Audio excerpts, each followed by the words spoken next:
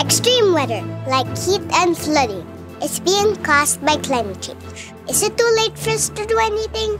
Back to you, Jenny. Climate change is here, but the situation isn't hopeless. Decarbonization, switching to decarbonized energy, is the biggest step to a greener future. For more on that, we now take you to our reporter in the field, Sid. Thanks, Jenny. Along with decarbonization, we also need to focus on regeneration, which is replenishing the environment. These people are doing their part.